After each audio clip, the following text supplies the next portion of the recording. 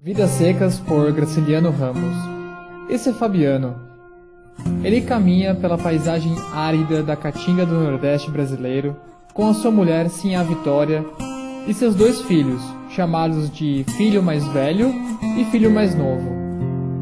Também acompanham eles a baleia, que nesse caso não é aquele animal que vive debaixo da água, e sim um cachorro. O grupo, na verdade, era um pouco maior eles também tinham um papagaio, que foi sacrificado para matar a fome da família. Enquanto estavam caminhando, Fabiano e sua família encontram uma fazenda abandonada. Eles então têm a ideia de se abrigar daquele calor todo naquele lugar.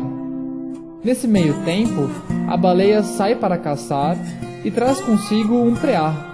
Mal sabia que sobraria somente os ossos para ela, coitada.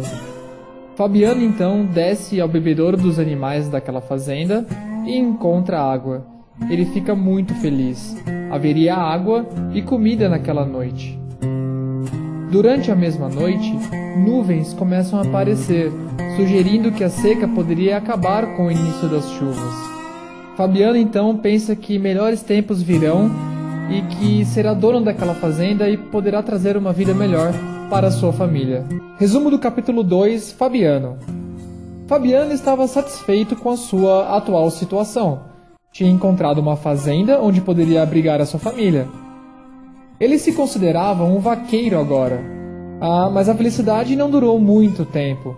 Logo, o dono da fazenda apareceu expulsando ele e a sua família. Fabiano então negociou com o dono da fazenda, oferecendo seu trabalho em troca de continuar ali. A situação voltou a ficar triste. Fabiano se sente como um animal, sempre tentando lutar pela sobrevivência sua e de sua família.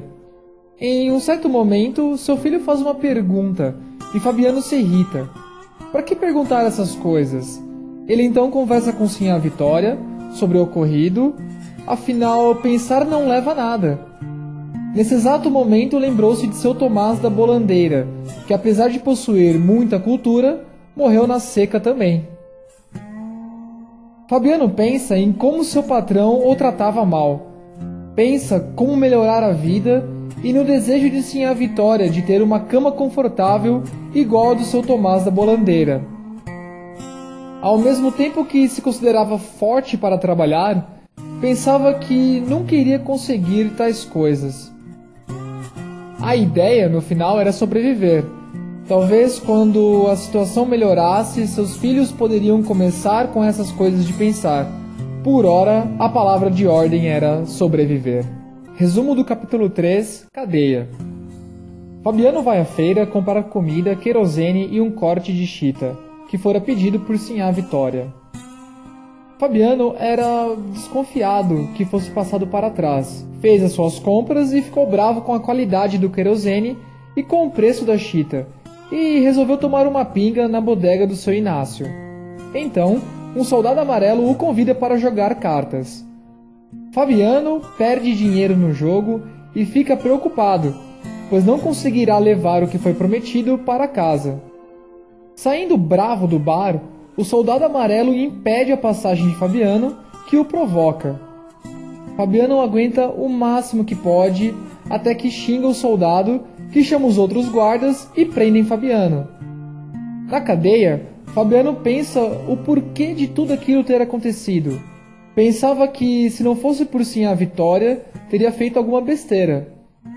Ficou bravo com os outros presos da cadeia e pensou que estava ali por causa de sua família. E perguntou para si mesmo se valeria a pena ter a família como um peso a carregar. Pensava em seus filhos, que seriam brutos como o pai, e acabariam sofrendo como ele. Resumo do quarto capítulo Sinhá Vitória.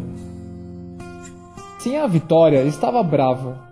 Tinha dormido mal na cama de varas e comentou com Fabiano como aquilo era ruim. Sonhava como a cama de couro, como a do seu Tomás da Bolandeira. Há certo tempo pensaram o que seria necessário fazer para ter tal conforto Fabiano disse para que Sinha Vitória economizasse em roupas e querosene. Disse que ela caminhava como um papagaio, trôpega e manca, com seus sapatos de verniz, Isso machucou muito Sinha Vitória. Toda vez que Sinha Vitória preparava comida, ela pensava na seca que poderia voltar. Olhava para Fabiano, que estava dormindo e roncando, e pensava que ele era mal por fazer aquelas comparações e por fazê-la carregar o baú sozinha, o filho mais novo e o papagaio durante a caminhada da família pela caatinga. Ela então volta a pensar na cama. No final, achava que as coisas tinham melhorado e que só faltava uma cama para completar a felicidade. Resumo do capítulo 5: O menino mais novo. O menino mais novo viu seu pai, Fabiano, amansar uma égua muito brava como um verdadeiro vaqueiro. No dia seguinte, acordou disposto a fazer o mesmo, para impressionar o seu irmão mais velho e a cachorra-baleia. Quando as cabras foram ao bebedouro, o filho mais novo montou em um bode, sentiu-se como Fabiano. No entanto, o animal o derrubou e ele ficou jogado no chão. O irmão mais velho ria sem parar do acontecido e a baleia parecia também desaprovar tudo o que aconteceu. Pensou que um dia seria grande e usaria roupas de vaqueiro e fumaria cigarro e faria coisas que deixariam o seu irmão e a baleia impressionados. Resumo do capítulo 6 O menino mais velho. Uma palavra chamava a atenção do menino mais velho: inferno. Ele perguntou assim a Vitória o que era a palavra inferno e assim a Vitória simplesmente disse que era um lugar ruim. Perguntou então a Fabiano, mas seu pai não deu nenhuma resposta. Voltou a perguntar para assim a Vitória e perguntou se ela já tinha visto o inferno. Ele acabou levando um cascudo de sim a Vitória e saiu bravo, começando a chorar. Ele então decidiu contar toda a história para a baleia, mas com o seu curto vocabulário, as coisas ficavam um pouco difíceis de serem contadas. Ele não entendia por que ficavam tão bravo com aquela palavra. Ele então lembrou de um dia que tiveram que parar debaixo de um juazeiro por conta da seca e por conta da viagem. Talvez aquilo fosse o inferno, uma coisa realmente muito ruim. Parou para pensar, meio melancólico. Como poderiam existir estrelas no céu? Abraçava a baleia, que pensava, na verdade, em um osso que roeria mais tarde. Resumo do sétimo capítulo: Inverno. A família estava junta em volta de uma fogueira para diminuir um pouco o frio que sentiam do vento gelado que entrava pelas frestas das paredes e da porta. Pai e mãe conversavam e os meninos ficavam escutando as histórias heróicas inventadas por Fabiano. Em um certo momento, o filho mais velho levanta para buscar mais lenha e toma uma bronca do pai, que ficou muito bravo por ter sido interrompido. A chuva dava a tranquilidade que a seca não voltaria por enquanto. Sim, a Vitória, no entanto, tinha medo que aquela chuva provocasse uma inundação na casa onde estavam. Fabiano contava suas heróicas histórias inventadas e em certo momento um de seus filhos o indaga de como aquela história realmente tinha acontecido. Fabiano então muda a história, o que causa uma desconfiança no filho mais velho. Baleia, que já demonstrava desinteresse por muito tempo, dorme em paz ouvindo o barulho da chuva. Resumo do oitavo capítulo Festa. A família vai à festa de Natal na cidade vestidos com as suas melhores roupas e sapatos. No entanto, a caminhada era bastante longa e aquela roupa toda os deixavam sufocados. Até que, em um certo momento, Fabiano retira os sapatos e é seguido pelo resto da família, que também retiram aquelas roupas incômodas. Chegando à cidade, a família foi lavar os pés na beira do rio. Os meninos se amedrontavam com toda aquela multidão e ficavam admirados com as imagens na igreja. O pai ia se espremendo no meio daquela multidão. Queria ficar junto da família, mas sentia-se incomodado com toda aquela gente. Lembrou também da humilhação do soldado amarelo. A família saiu da igreja e se juntou às barracas. Fabiano afastou-se da família para beber pinga. Conforme ficava bêbado, sentia-se muito valente. Pensava em se vingar do soldado amarelo. Desafiava as outras pessoas a enfrentá-lo na rua. Cansado, em uma certa hora, resolveu deitar no chão e dormir. Sim, a Vitória, que estava preocupada em cuidar das crianças e de Fabiano, tirou um tempo para ir até a esquina urinar. Voltou onde estava Fabiano, que roncava e sonhava com as brigas contra o soldado amarelo. Sim, a Vitória voltou a pensar na cama de Tomás da Bolandeira e de como aquilo seria bom. Resumo do nono capítulo: Baleia. A cachorra-baleia estava muito debilitada. Os pelos estavam caindo, tinha feridas na boca. Fabiano achou que ela estava com raiva e então decidiu sacrificá-la.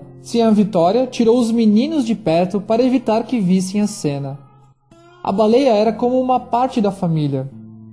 Por isso, os meninos tentaram impedir que ela fosse morta, mas não adiantou. Fabiano preparou a espingarda e o primeiro tiro atingiu a perna da baleia, que saiu se arrastando e começou a chorar, assim como as crianças. Baleia tentou se esconder. Sentia que o fim estava muito próximo. Sentia cheiro de preás. Sentia raiva de Fabiano e desejou mordê-lo, mas o via como um companheiro de longa data. Pensou em várias passagens de sua vida. Dormiu. A morte estava chegando para a baleia. Resumo do décimo capítulo Contas. Fabiano ganhava parte do que os cabritos e os bezerros rendiam. Como aquilo era pouco, acabava pegando empréstimos com o próprio patrão e no final acabava se endividando. Sentia estar sendo enganado nas contas Pediu assim a Vitória para que refizesse os cálculos. Quando reclamava a diferença com o patrão, ele era ameaçado de ser demitido e ter que procurar outro emprego. Fabiano, submisso, sabia que era roubado, mas não sabia o que fazer exatamente. Foi tentar vender alguns porcos na rua.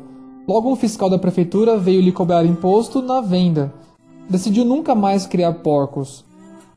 Pensou nas dificuldades da vida, pensava em deixar de ser explorado, mas no final se conformava, pois aquela tinha sido a vida de seu pai e também de seu avô. Continuaria sem casa, trabalhando para os outros e sempre tendo que fugir da seca da caatinga. Olhou para o céu e viu estrelas, sinal que a seca estava voltando. Lembrou de baleia e sentiu dó da cachorrinha. Afinal, ela também era da família. Resumo do capítulo 11: O Soldado Amarelo. Buscando por uma égua que tinha fugido, Fabiano ficou preso na vegetação local e começou a se livrar utilizando o seu facão. Nesse exato momento, se depara com o soldado amarelo, o mesmo que tinha humilhado há um ano atrás. O soldado sentiu-se em perigo. Aquele que lhe tinha humilhado há um certo tempo estava com um facão na sua frente. Fabiano lembrou-se de tudo o que aconteceu e pensou em matá-lo com seu facão. Em meio ao vai e vem de pensamentos, lembrou que, na verdade, ele era um homem de bem. Então, não poderia acabar com a vida de outra pessoa. Percebendo que Fabiano não iria machucá-lo, o soldado se sentiu encorajado. Caminhou em direção a Fabiano e perguntou a ele qual o caminho correto, pois estava perdido. Fabiano então tirou o chapéu e ensinou-lhe o caminho. Resumo do capítulo 12: O mundo coberto de penas. A seca chegava. Um monte de aves entravam na fazenda para tentar beber a água dos animais. As aves poderiam matar o gado de sede. Diante disso, Fabiano pegou a sua espingarda e tentou afugentá-los. As aves, no entanto, poderiam servir como comida, mas por pouco tempo, a situação era muito ruim, pensou. Sentia-se um covarde quando lembrava do soldado amarelo. Ao mesmo tempo, a espingarda o fazia lembrar da tristeza de baleia. Ele olhava para o céu e via cada vez menos nuvens. Com raiva, ia matando cada vez mais aves. Tudo aquilo afetou os pensamentos de Fabiano. Sentia que precisava mudar daquele lugar. Resumo do 13 terceiro capítulo, Fuga. A seca finalmente tinha chegado. Os animais morreram. Fabiano matou o último bezerro que serviria de comida para a viagem.